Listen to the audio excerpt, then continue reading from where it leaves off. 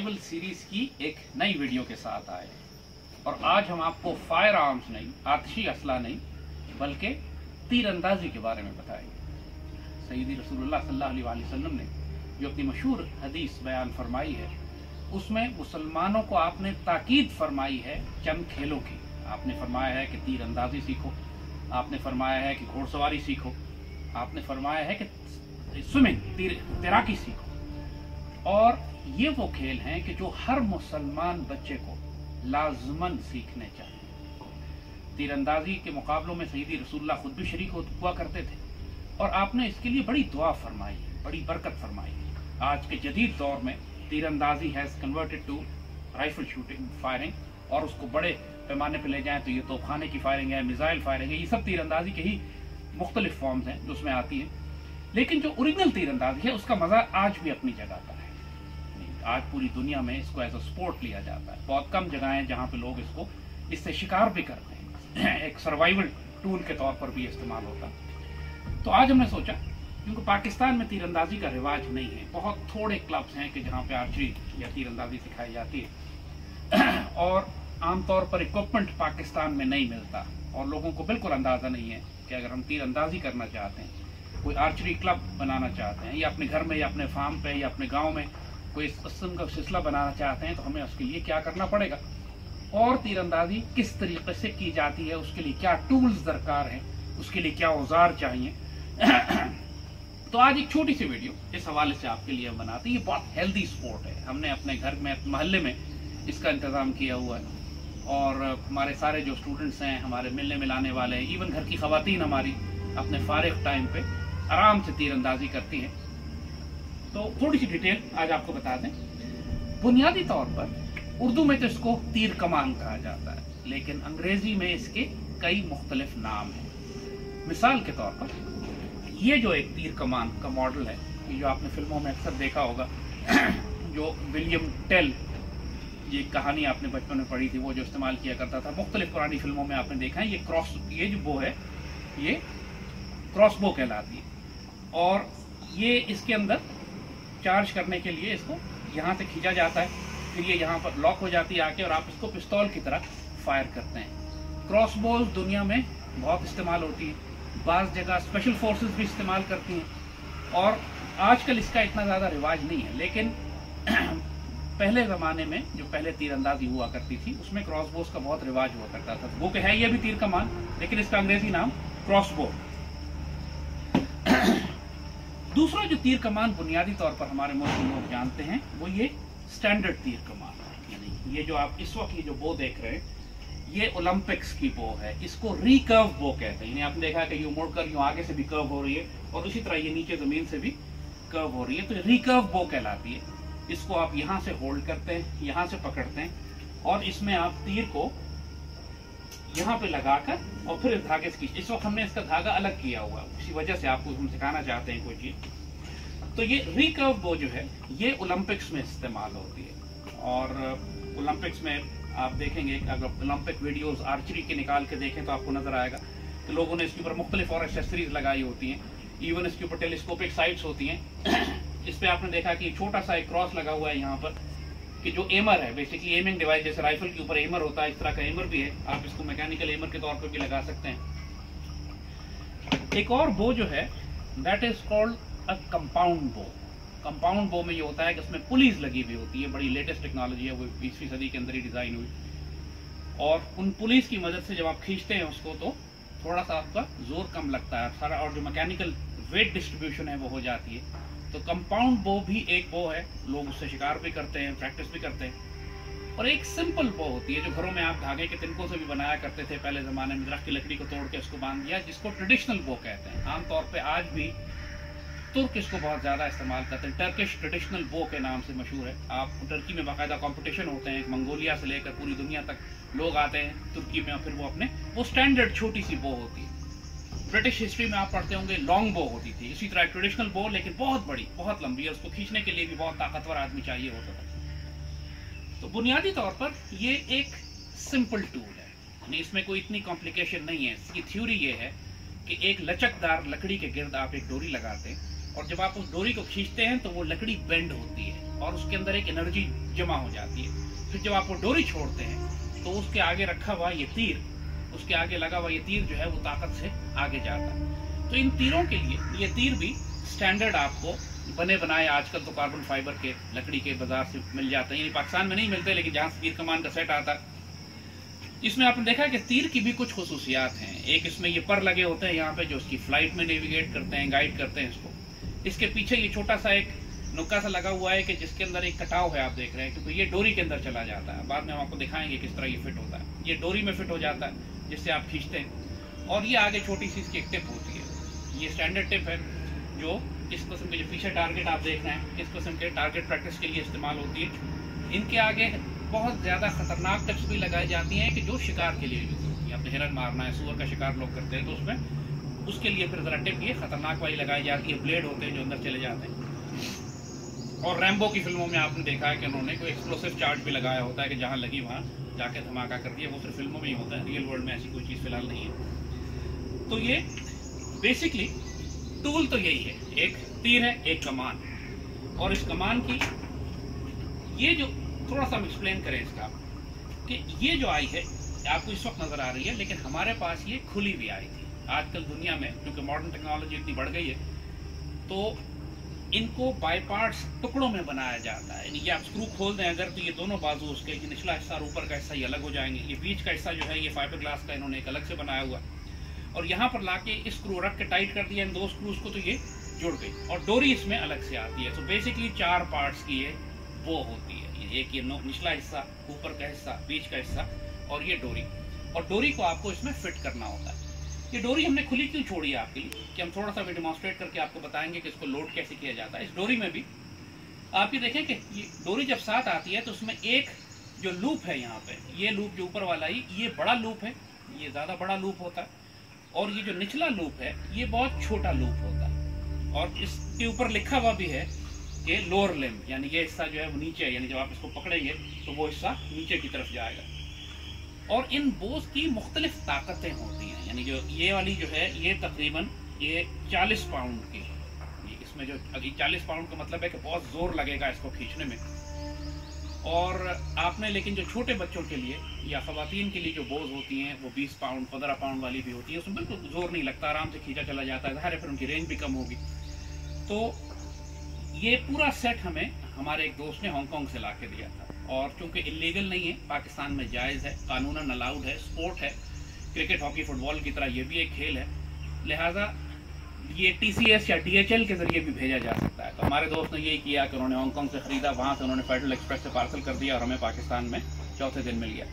इसकी कीमत तकरीबन को इस वाले सेट की कीमत तकरीबन को तीस पैंतीस हज़ार के करीब है। जिसके अंदर हमें ये पूरी बो और उसके साथ बारह तीर हमें उसके साथ मिल गए जैसे हमने आपको कहा कि जब ये आपको मिलेगा तो इसको ये मैकेनिकली सेट करना तो कोई मुश्किल काम नहीं है। इसका निचला हिस्सा आपने यहाँ लगाया पेज टाइट कर दिए। इसको लगाया, ये पेज टाइट कर दिया। इसको लगा के एमर को यहाँ पेज टाइट कर दिए। असल मसला होता है जब आप इसकी डोरी लगाने लगते हैं। और डोरी लगाने के लिए जैसे कहा कि तरीका ये होता है कि इसके जो छोटा मुँह है जिस डोरी का, जिस एंड का, वो इसके लोअर लिम पे लगाएँ।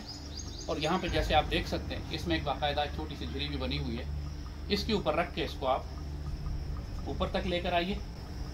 और इसको पहनाने से पहले, और क्योंकि आसानी से ये नहीं पहनाई जाएगी, ये बहुत टाइट होती है इस लकड़ी को इनको घुमाना पड़ता है। जब आपने इसका लोअर लेम में ये डोरी फिट कर दी, नीचे इसके आपने डोरी फिट कर दी, अब ऊपर फिट करने के लिए ज़ाहिर है इसको आपको बेंड करना और बेंड करना एक थोड़ा सा टफ काम होता है। उसका तरीका ये है कि आप अपनी लेफ़्ट लेग इसके बीच में से दाखिल करते हैं, उल्टी टांग आपने दाखिल की इसके अंदर। और सीधी टांग आपने इसमें इस तरह लगाया जैसे आप किसी की टांग पर अड़ंगी लगा रहे हैं उसको। और फिर अपने शोल्डर से ये चूँकि यहाँ पे शोल्डर पे आ जाती है, फिर यहाँ से आप इसको आहिस्ता आहिस्ता बेंड करना शुरू करते हैं। और जब आप इसको बेंड करते हैं, इसमें बहुत थोड़ी ताकत लगती है।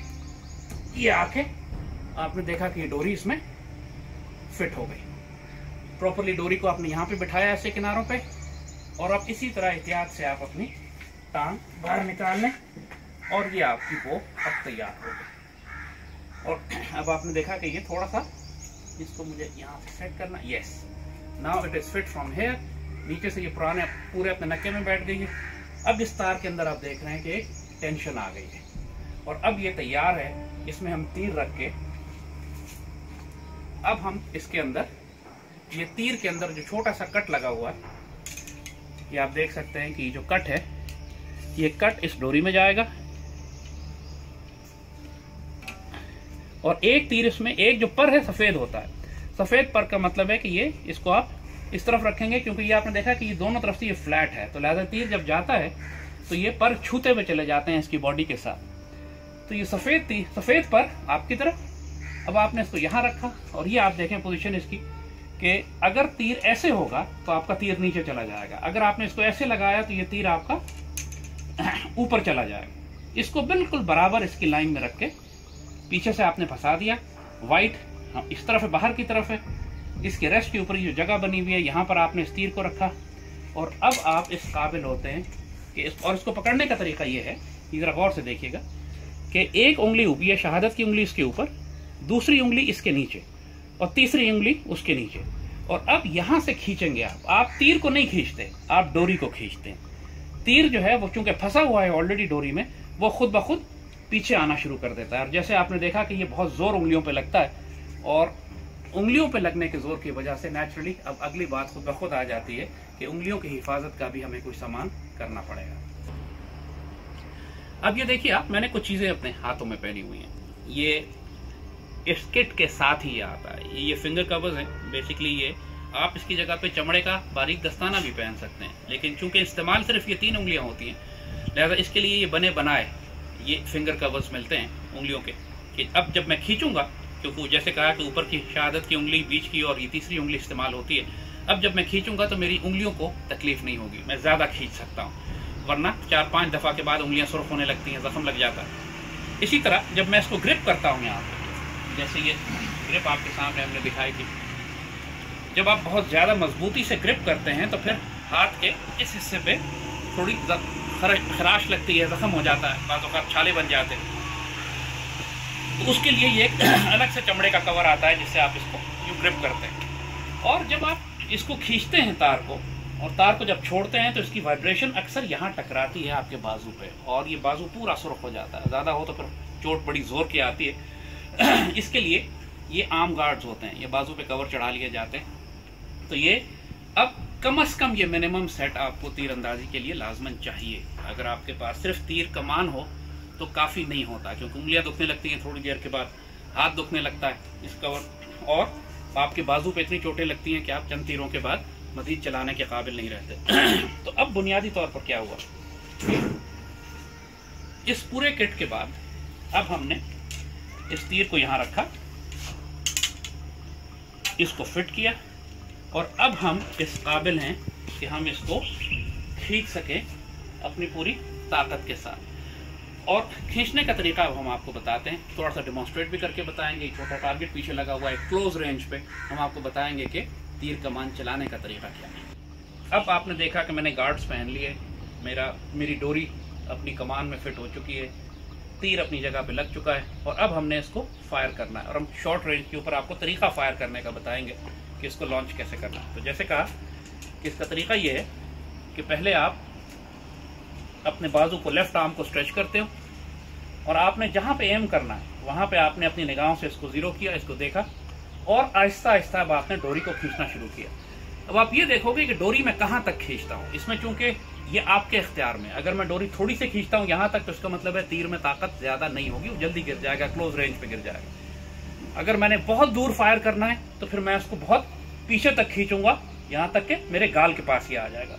और ये पोजीशन होती है कि जब आप, खासतौर पर ओलंपिक्स वगैरह में भी आप देखेंगे तो चूँकि वहाँ 90 मीटर्स तक फायर करना होता है। ये जो 40 पाउंड की बो है, इसका ये तीर आराम से 300 गज तक लॉन्च किया जा सकता है। इमेजिन करें कि ये तीर 300 गज तक।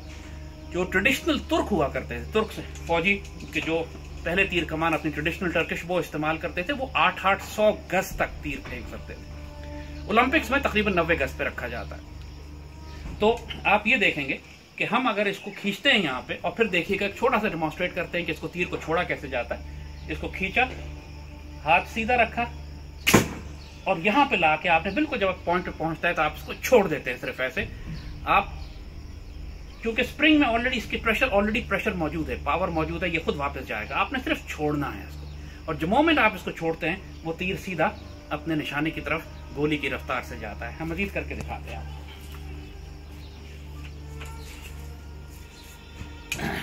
अभी देखे मैं, दूसरा तीर मैंने लिया, इसको रखा, इसमें लगाया। अगेन फोकस, सांस रोकी, खींचना शुरू किया और छोड़ दिया। और वो सीधा जाके अपने टारगेट पे हिट हुआ। इसको हम आपको कोशिश करेंगे स्लो मोशन में भी दिखा सकें। ये मैंने तीसरा तीर लिया। इसको फिट किया। एम अपने गाल तक लाया और इसको फायर कर दिया।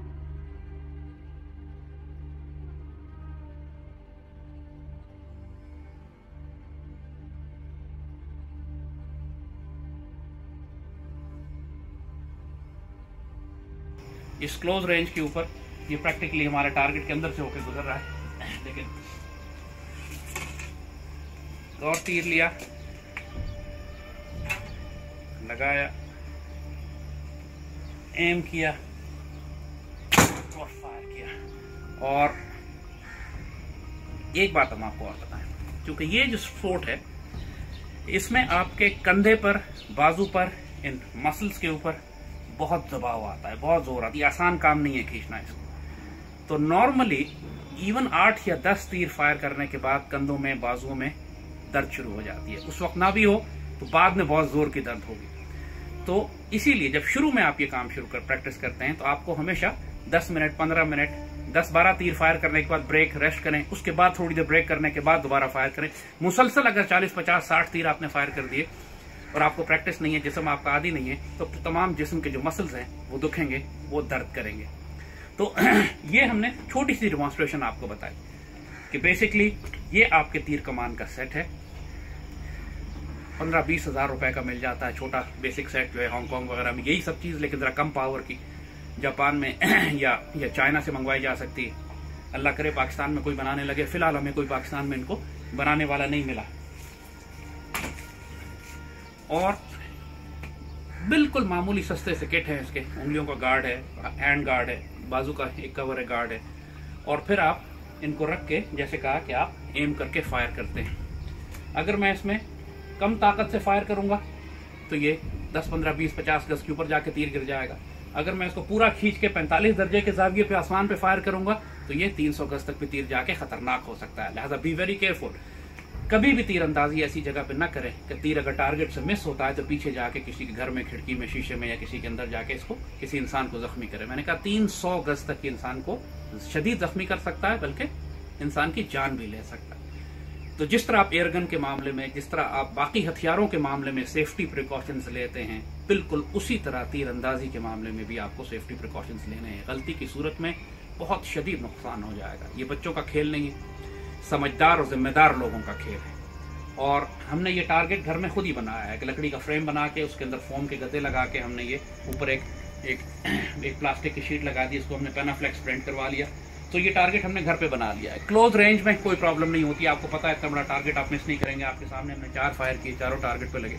लेकिन जब आप 20 गज 30 गज 40 गज 50 गज पे चले जाते हैं तो फिर हवा की डायरेक्शन भी मैटर करती है, आपका हाथ का एंगल भी मैटर करता है। तीर जो है वो इतने बड़े बोर्ड से भी मिस हो जाते हैं। तो ये कॉन्फिडेंस ना रखिएगा कि चूँकि मैं यहाँ पे मैं टारगेट पे हिट कर रहा हूँ, लिहाजा पचास गज पे भी इसी पे लगेगा, लिहाजा मैं खुले मैदान में लिहाजा मैं पब्लिक में सड़क पे, गली पे तीरंदाजी कर सकता हूँ, किसी को चोट आ जाएगी। हमेशा ऐसी जगह रखिए कि जब पीछे खुला मैदान हो या पहाड़ हो। और सेफ्टी के तमाम प्रिकॉशंस आपने लेने अब एक बात और।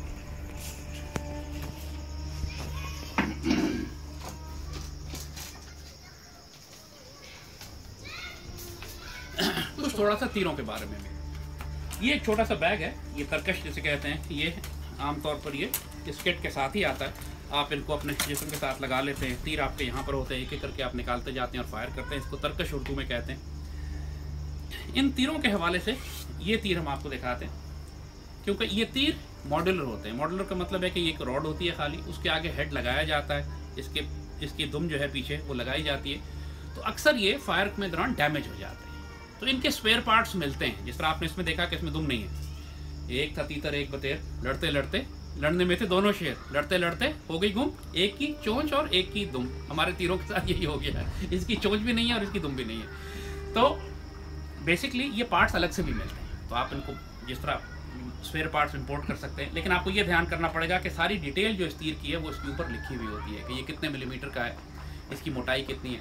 मोटे भी आते हैं, तीर पतले भी आते हैं। ओलंपिक्स में ये वाले तीर इस्तेमाल होते हैं जो तकरीबन जिसको सेवेंटी एच कहते हैं सेवन हंड्रेड कार्बन एरो तो ये तो जो आपके पास तीरों का सेट है, जो कार जो रीडिंग यहाँ लगी हुई है, इसके मुताबिक, इसकी गुलाई के मुताबिक आपको हेड और इसकी दुम के पार्ट्स जो है वो मिलते हैं। फिर आप फिट कर लें, दोबारा ये तीर दोबारा ऑपरेशनल हो जाएगा। सो ये तीर हमारे पास बहुत अच्छे से हमने खूब इस्तेमाल की, खूब तोड़ा इनको, खूब अब इनका अभी जैसे कहा कि इसकी चोंच और इसकी दुम दोनों ही गुम हो गई है, लेकिन हमें अब ला के वो फिट करनी पड़ेगी इसके अंदर। ये छोटा सा तरकश होता है। ये आप इसको पीठ पे भी लगा सकते हैं, सामने भी लगा सकते हैं, और जिस तरह चाहें आप इसको इस्तेमाल करें। So basically now I am Robin Hood अब हम रॉबिन हुड बन गए, और यही टेक्नोलॉजी आज से चार पाँच हज़ार साल पहले भी इंसान के पास, चार पाँच हज़ार साल पहले की भी जो इंसान मिले हैं उनके पास भी यही टेक्नोलॉजी थी। सिर्फ़ आज इंसान ने ज़रा मॉड्यूलर कर दिया, टुकड़े पार्ट्स जोड़ दिए फाइबर ग्लास के बना दिया, लेकिन तीर अंदाजी या तीर कमान, जैसे कहा कि हज़ारों साल से इंसान का मेन वेपन प्लेटफॉर्म रहा है, शिकार के लिए सर्वाइवल के लिए, जंगों के लिए, और तफरी के लिए। और आज भी इट्स अ वंडरफुल स्पोर्ट अगर आप अच्छी तरह प्रैक्टिस कर लें इसकी। तो शिकार के लिए हंटिंग के लिए भी आप इसको इस्तेमाल कर सकते हैं। वो वीडियोस हम आपको जो हमने रेंज या फ़ील्ड में जाके बनाई हैं, वो आपको बाद में दिखाएँगे। फ़िलहाल मैं ये तीर लॉन्च करके आपको पास से इजाज़त लूँगा। आपने हमारी वीडियो देखी, माशाल्लाह खैर से। अल्लाह बरकत दे, बहुत कुछ सीखा भी होगा।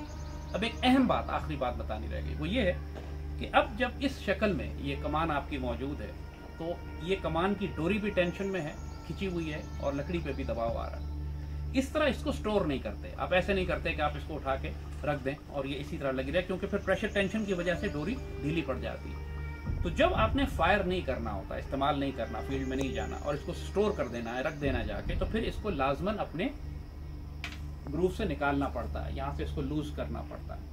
ताकि ढीली करके आप इसके अंदर छोड़ देते हैं। उसका एक फ़ायदा ये भी होता है कि घर में जब ये लटकी हुई है तो कोई आके इसको ड्राई रन ड्राई फायर नहीं करता। उन लोगों की आदत है, जैसे ये कमान उठाएँगे, डोरी खींचेंगे और एक फायर कर देंगे और ये बड़ा डैमेज करता है कमान को भी और इसके धागे को भी।